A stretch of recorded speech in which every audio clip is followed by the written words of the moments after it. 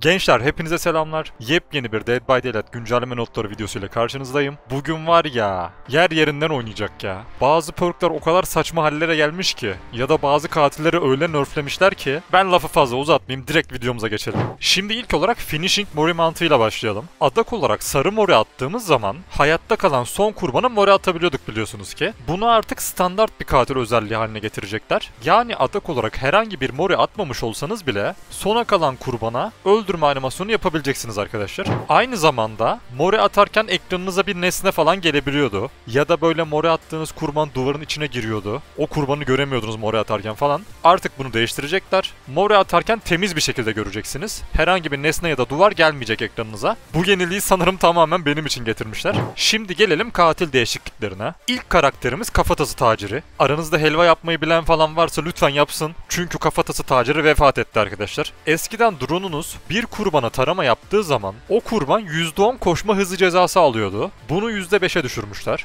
Drone'unuz bir kurbanı taradıktan sonra siz hız bonusu kazanıyordunuz. Daha hızlı gitmeye başlıyordunuz. Artık bu efekti tamamen kaldırdılar. Drone'un tarama çizgileri 2'den 1'e düştü. Yani böyle iki tane kanat gibi şey dönüyordu ya drone'un etrafında ışık olarak. Bunlardan iki tane değil tek bir tane dönecek artık. Son olarak da drone'un tarama çizgileri 16 metrelik mesafeden sonra görünmez olacak. Yani kurbanlar drone'un 16 metre uzağına çıktıkları zaman o drone'un tarama ışığını göremeyecekler. Mahvetmişler yani katili geçmiş olsun. Sıradaki katilimiz Hillbilly.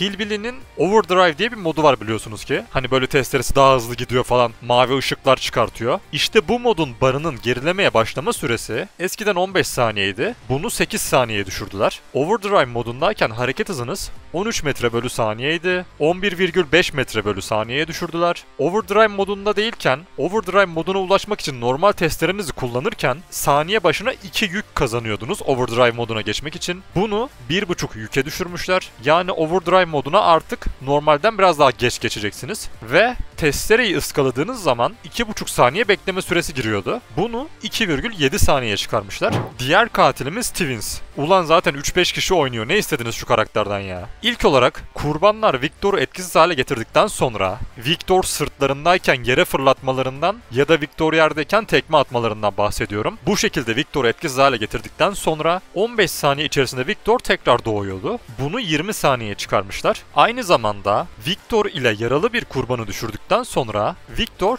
2,7 saniye içerisinde kendine geliyordu. Bunu 3,2 saniye çıkarmışlar. Yani kurbanların Victor'a tekme atabilmesi için ekstradan yarım saniye daha hakları olacak.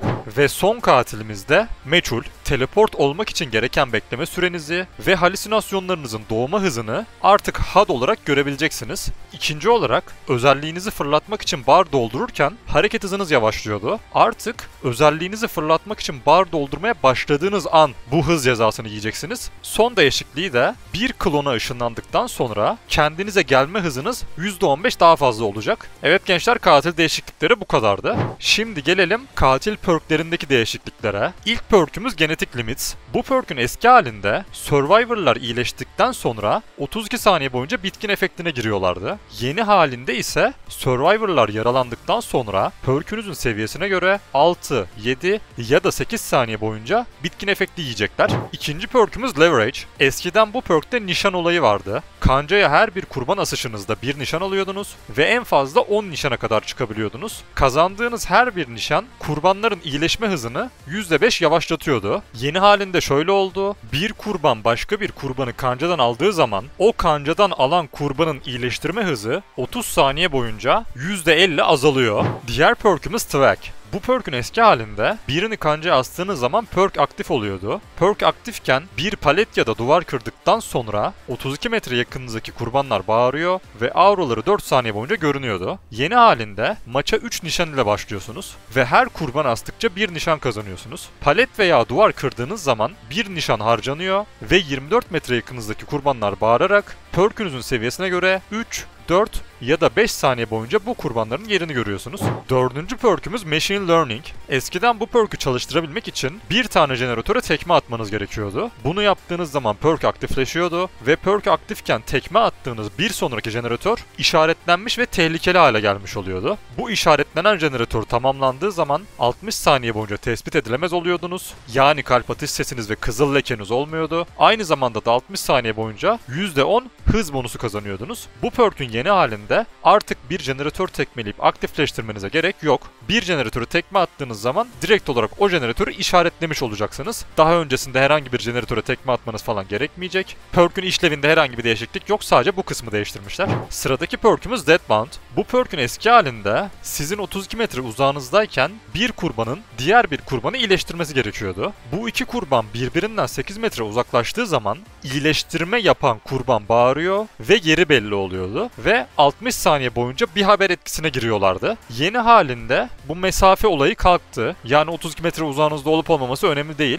Bir kurban bir başkasını iyileştirdiği zaman direkt olarak perkünüz çalışacak. Bir haber süresi artık 60 saniye değil. Siz o kurbanı kancaya asana kadar bir haber efektine giriyor. Yani maç sonuna kadar o kurbanı asmadınız diyelim. Maç sonuna kadar o kurban bir haber efektinde olmuş oluyor. Sıradaki perkümüz Zenshin Tactics. Bu perkün eski halinde 32 metre yakınızdaki paletlerin, kırılabilir duvarların ve atlama noktalarının yerini görüyordunuz. Yeni halinde ise düşmüş bir paletin 6 metre yakınındaki survivorların haresini eğer paletin 16 metre yakınındaysanız 6, 8 ve 10 saniye boyunca görmüş oluyorsunuz. Yani kurbanların palet devirdiği spotlarda daha rahat mind game yapabiliriz. Sağdan mı gideceğiz, soldan mı gideceğiz gibisinden. Sıradaki perkümüz Deadman Switch. Bu perkün eski halinde birini kancaya astıktan sonra 30 saniye boyunca aktif oluyordu perk. Bu 30 saniyelik süre içerisinde herhangi bir kurban jeneratörden kalkarsa o jeneratör perkün süresi bitene kadar kapanıyordu. Perkün yeni halinde ise şöyle oldu arkadaşlar. Öncelikle perkün süresini 20-25-30 saniyeden 40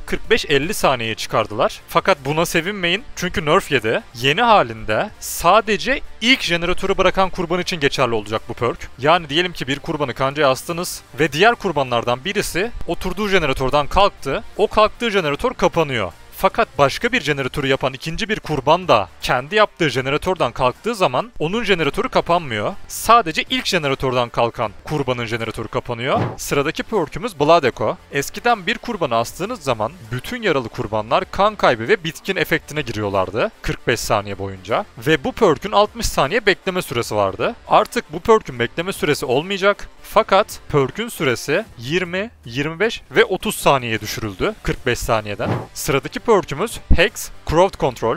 Eskiden bir kurban pencereden atladığı zaman o pencere 60 saniye boyunca kapanıyordu ve 60 saniye boyunca hiçbir kurban o pencereyi kullanamıyordu. Bu bir efsun perk olduğu için toteminizi kırarak bu efekti devre dışı bırakabiliyorlardı. Bu perkün yeni halinde ise perkünüzün seviyesine göre maç başına 3, 4 ya da 5 tane pencereyi aynı anda tamamen kapatabileceksiniz. Yani şu şekil.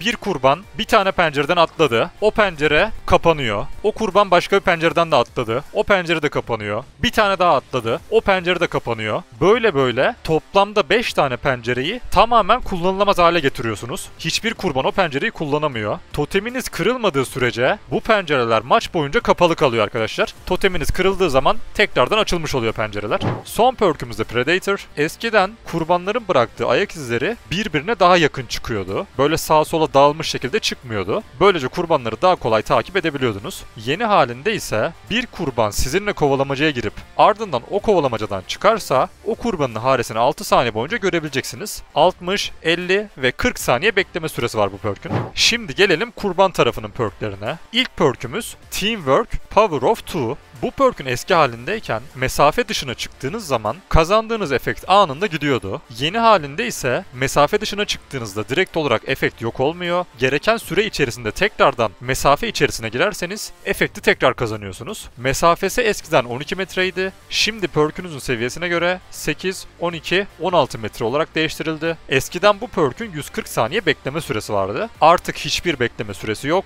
ve eskiden bu ikiliden birisi yaralandığı zaman kazandığınız efektler gidiyordu. Artık böyle bir şey yok. Birisi yaralandığı zaman kazandığınız efekt gitmiyor. Sıradaki perkümüz Teamwork Collective Stealth. Bu perk'e gelen yenilikler de az önce anlattığım perk de aynı arkadaşlar. O yüzden bunu hızlıca geçiyorum. Sıradaki perk'ümüz Corrective Action. Bu perk skill check tutturduğunuz zaman size nişan veriyor ve en fazla 5 nişana kadar çıkabiliyorsunuz. Bir kurbanla aynı eylemi yaparken o kurban skill check ıskalarsa o ıskalanan skill check'i saymıyor oyun ve başarılı skill çekmiş gibi gösteriyor. Böylece bir patlama falan yapmamış oluyorsunuz. Perk'ün işlevi buydu. Eskiden şöyle bir şey vardı. Sadece sizinle aynı eylemi yapan kurbanlarda çalışıyordu.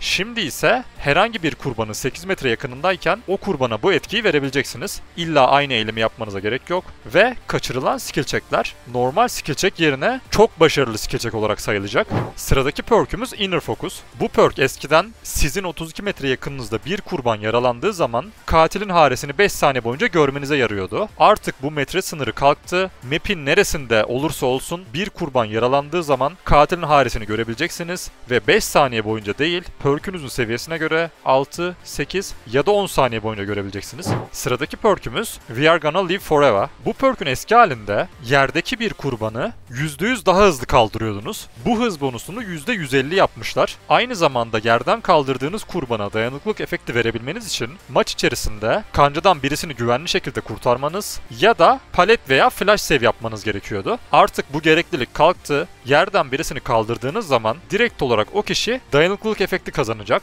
Yani katil o kaldırdığınız kişiye vurduğu zaman o kişi yaralı olmasına rağmen yere düşmeyecek. Derin yara efektine girmiş olacak. Bu perk'e 30 saniye beklenme süresi eklenmiş. Sıradaki perk'ümüz Poisoned. Artık bir jeneratörü oturmaya başladığınız anda 6 saniye boyunca katilin haresini göreceksiniz. Ve jeneratör bittikten sonra 6, 8 ya da 10 saniye boyunca iz bırakmıyordunuz. Bunu 10, 12 ve 14 saniye yapmışlar. Sıradaki perk'ümüz Blood Rush. Bu perk'ün eski halinde son asılışınızdayken yani daha öncesinde iki kere asıldıysanız o an bitkin efektinde olsanız bile sağlıklı halden yaralı hale geçerek tekrardan ani depar kullanmış gibi oluyordunuz. Sadece sağlıklı haldeyken kullanılabiliyordu bu perk. Yani şöyle düşünün. Tamamen sağlıklısınız. Sprint burst atıyorsunuz. Katilden kaçıyorsunuz. Sonra perk'ü kullanarak yaralı duruma geçiyorsunuz. Fakat bir sprint burst daha atmış oluyorsunuz. Böylece katille aranızdaki mesafeyi iyice açmış oluyordunuz. 20 saniye sonra da otomatik olarak tekrar iyileşmiş oluyordunuz. Bu perk'ün yeni halinde kancadan alındıktan sonra perk'ü kullanmak için perk'ünüzün seviyesine göre 40, 50 ya da 60 saniye vaktiniz olacak. Bu süre içerisinde kullanmanız gerekiyor. Bitkin durum efektindeyken birinci yetenek butonuna basarak tekrardan birkaç saniyeliğine çok hızlı gidiyorsunuz. Yani tekrardan ani depar kullanmış gibi oluyorsunuz. Fakat eskisi gibi sizi yaralamıyor bu perk.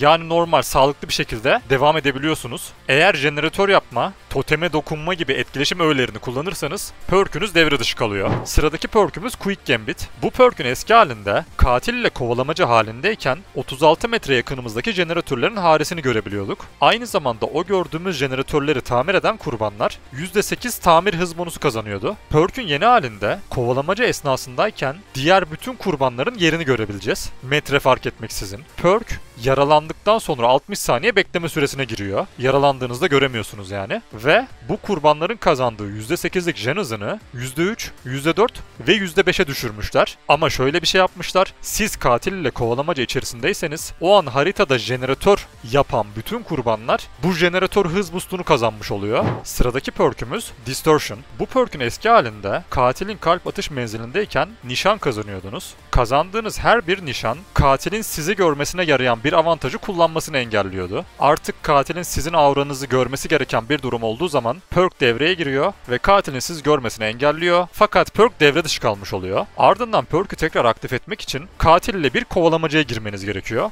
Bunu yapmadığınız sürece perk'ü tekrar aktif etmiş olmuyorsunuz. Bunu yapıp tekrar aktif ettiğinizde tekrardan katil sizi görmesi gereken bir özellik kullandığı zaman yine görememiş oluyor. Eskiden katil 6, 8 ya da 10 saniye boyunca bizim auramızı ve çiziklerimizi göremiyordu. Bunu 8, 10 ve 12 saniye çıkarmışlar. Ve son perkümüz de Lucky Star. Eskiden dolaba girer girmez dolabın içerisinde 10 saniye boyunca ses çıkarmıyordunuz. Yani yaralıyken saklanmanıza falan yarıyordu. Bu perkün yeni halinde ise bir dolaba girip o dolaptan çıktığınız zaman 30 saniye boyunca yere kan gölcüğü bırakmıyorsunuz ve 30 saniye boyunca hiçbir şekilde yaralı sesi çıkarmıyorsunuz. Sesinizi tamamen kesiyor. Aynı zamanda bu girdiğiniz dolaptan çıkmayıp dolapta kalmaya devam ederseniz dolapta durduğunuz süre boyunca sınırsız bir şekilde hiç ses çıkarmıyorsunuz. Evet gençler tüm değişiklikler bu kadardı. Elimden gelince anlatmaya çalıştım. Arada minik hatalar ya da eksik anlattığım bir şey varsa yorumlarda yazıp düzeltebilirsiniz. Yani evet perkler ilginç hale dönüştü. Bunların çoğu zaten oyunun en az kullanılan perkleriydi. Yakın zamanda bunlarla ilgili shorts videoları da attım. Birkaç tanesi metaya girebilecek seviyede hatta. Ana oyuna eklendikleri zaman göreceğiz. Yeni gelen perklerle ilgili yorumlarınızı yapmayı unutmayın. Aynı zamanda hani şu perkle şu perk çok iyi kombin olur dediğiniz fikirler varsa onları da belirtebilirsiniz. Kendinize çok iyi bakın. Bir sonraki videolarımıza görüşmek üzere. İyi günler, eğlenceler.